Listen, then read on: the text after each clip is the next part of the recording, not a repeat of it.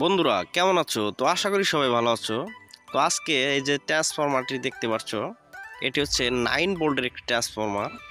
তো এই nine বোল্টের transformer দিয়ে কীভাবে একটি ওয়েল্ডিং মেশিন এবং হাই পাওয়ার সাপ্লাই তৈরি করা যায়, তো সেটি তোমাদের মাঝে আজকে দেখাবো। তো অবশ্যই না টেনে সম্পূর্ণ ভিডিওটি দেখবে, অবশ্যই ভালো লাগবে। তো ট্রান্সফরমারটি দেখতে পাচ্ছ আমরা এটি এসি কানেকশন দিয়েছি, এসি লাইনটি লাগিয়ে আমরা এখন এটার বোল্ড স্টি টেস্ট করব। যে অবশ্যই নাইন বোল্ট কিনা সেটি তোমাদের মাঝে দেখাবো।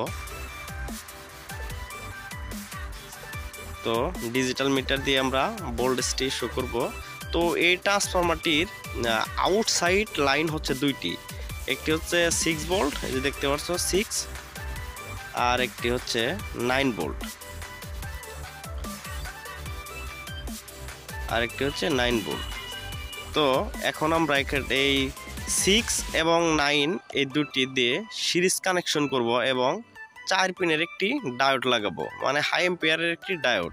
যেহেতু আমার ট্রান্সফরমারটিতে অনেক লোড পড়বে, এই কারণে একটি চার পিনের একটি ডায়োড লাগবে, কারণ সাধারণ ডায়োডগুলো ফেটে যাবে, এই কারণে আমরা এই ডায়োডটি কানেকশন করব। তো অবশ্যই ট্রান্সফরমার ডিসি সেকশনটি সিরিজ কানেকশন হবে।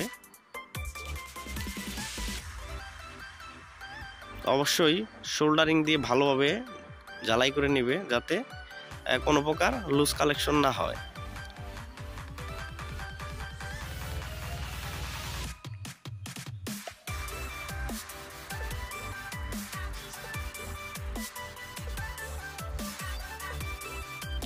তো জ্বালাই কাজ শেষে আমাদের যে কাজটি, সেটি হচ্ছে আমরা এখন এটা টেস্ট করব যে এটা ডিসি সাইডে আমাদের ভোল্টেজটি কত আছে? মানে ডিসি আউটপুট ভোল্টেজ কত আছে?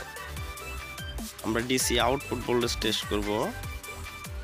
মানে হচ্ছে, আমরা যেহেতু বিশে ফালিয়েছি, তো বারো পয়েন্ট ছিয়াশি।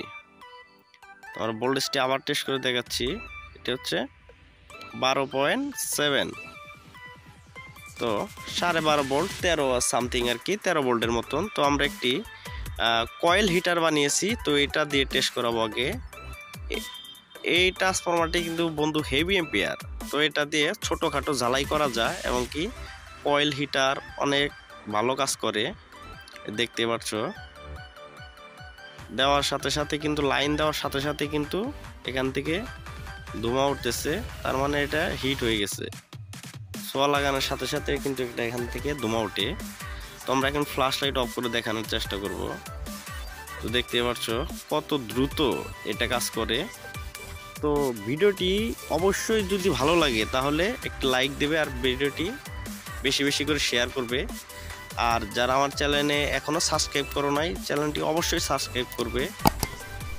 তো ভালো থাকবে, সুস্থ থাকবে।